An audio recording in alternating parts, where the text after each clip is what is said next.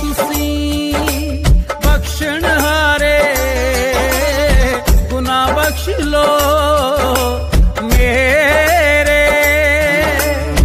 ਸੱਚੀ ਸੁੱਚੀ ਬਾਣੀ ਦਾਤਾ, ਸੁਣਾ ਮੈਂ ਸ਼ਾਮ ਸਵੇਰੇ। ਜਿਸ ਸੁਣ ਕੇ ਟੁੱਟ ਜਾਂਦੇ